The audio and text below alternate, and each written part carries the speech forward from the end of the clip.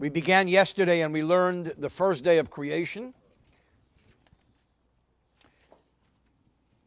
Chapter 1, verse 6, the, the uh, second day of creation. Vayomer Elohim, and God said, Yehi rakia, let there be a firmament, a heaven, a firmament, B'seich hamoyim, within the water. So we learned earlier that the, there was a mishmash, there was confusion, there was water all over the place. Let there be what is called a heaven within the water. We learned that there was water under the earth, and there's water all over the heaven will separate, v'yimabdul, let the firmament, the heaven, bring about a separation, bein mayim lamoyim, between one water and the other water, so that now you have water above the clouds, heavenly water, and then you have water beneath the ground, subterranean water, underground water, and in between the underground water and the heavenly water, You've got uh, a planet, you've got Earth. You can function. We talked yesterday that the six days of creation correspond to the six attributes of Chesed, Gvura, Tiferes, Netzach, Hod, Yesod, and the seventh day Shabbos corresponds to Malchus.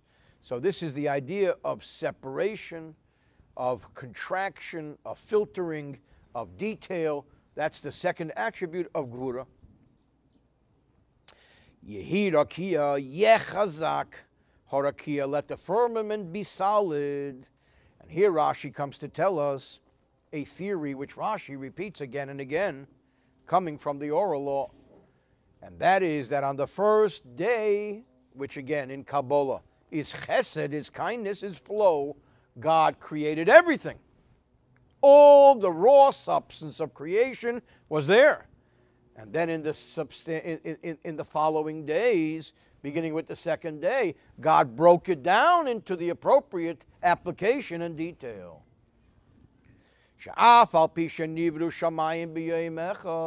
Even though the heavens were already created in day one, but it wasn't working very well, it wasn't functional. There's an adorable story I like to tell that uh, there was a, uh,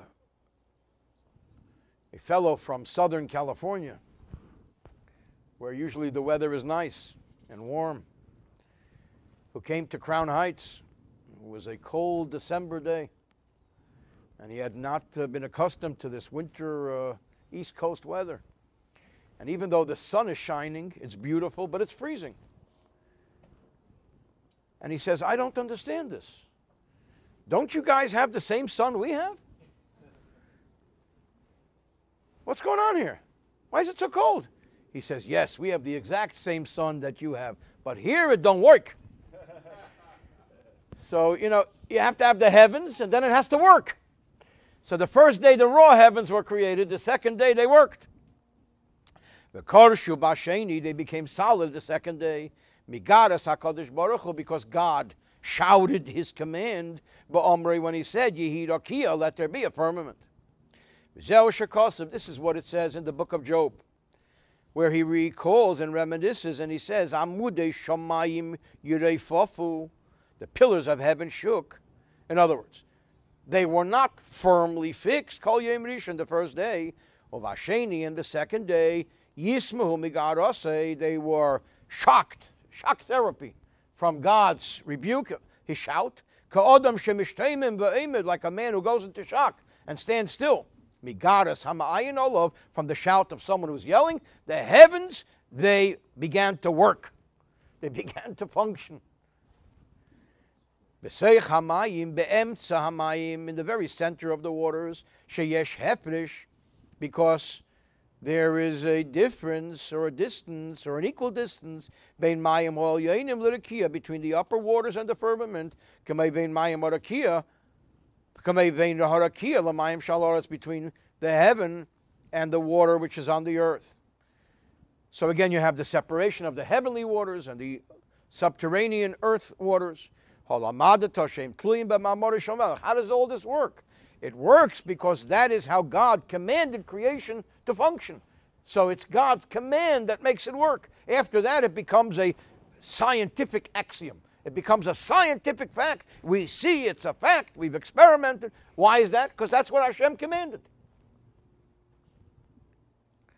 The sun rises and sets every day, and we don't make a big deal of it. In fact, we predict it. Oh, today it's going to be whatever it is. 651. How do you know? Because I'm smart. How do you know? Because it's fixed. Who fixed it? Oh, it's. So that's Hashem's command.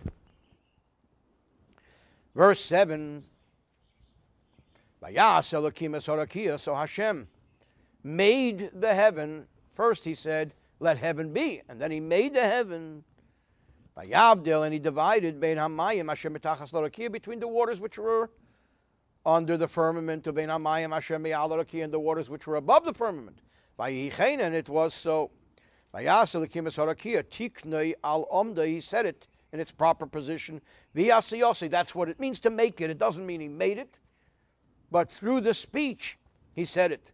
He said it. Kimei siponel, she shall set right her fingernails meaning she does it. It doesn't say above, but it says from above.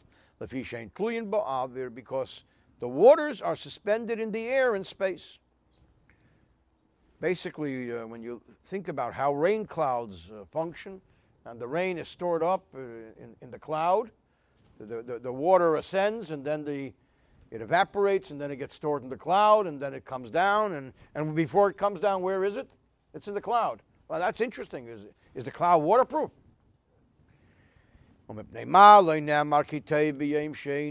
Now, the big question is every day of creation, it says, and God saw it was good. Yesterday we learned, and God saw it was good. Why didn't God see it was good on Monday?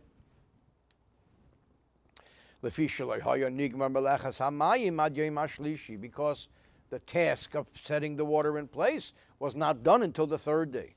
And he began the second day. Something that's incomplete, you can't say it's full and good. There's a Yiddish expression.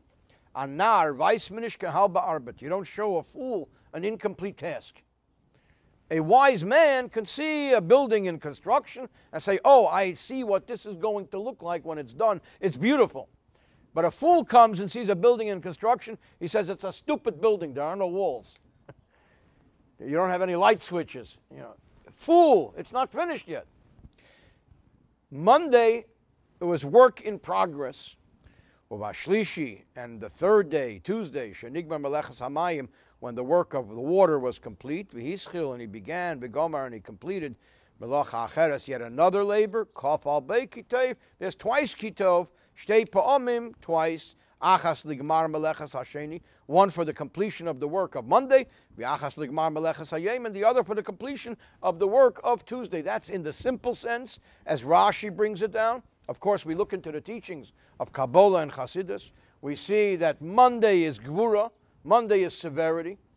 And severity in and of itself is problematic because severity is not only a good thing which brings about the detail of the first day, but severity also says no.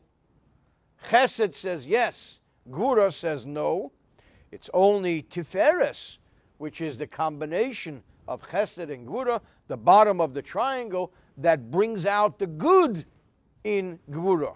It's the third day, compassion, which shows how important severity is, that you need a triangle of kindness, severity, and compassion to bring out beauty, because without the severity, without the detail, you have nothing. But we don't really appreciate that until we have the third day, like we don't appreciate Abraham, our patriarch Abraham, fully. And to prove it, it's because he produces, in addition to a Yitzchak, a Yishmael. From too much kindness comes Yishmael. We don't appreciate our patriarch Yitzchak fully. And to prove it, he produced, in addition to Yaakov, an Esav. Yaakov, however, is the third, the bottom of the triangle, containing within him the combination of Avraham and Yitzchak. Yaakov was able to establish Bnei Yisrael, the children of Israel. That's the perfection of the third part of the triangle. Therefore, in simple terms, it is only on the third day that we appreciate the blessing of the second day, and that's why the good of the second day is mentioned on the third day. As a uh, outgrowth of that, there's an old tradition within Jewish teachings that the third day of the week is an especially mazel dika week. It's a special uh, blessing. It's a day of special blessing, and people want to schedule something which is a cornerstone uh, event in their lives. They should perhaps consider scheduling it on a Tuesday, Yom Shlishi Shehuchpal Bo Kitov, the third day in which the word "and it was good" is mentioned not once but twice. So we'll stop over here at the end of the uh, second day.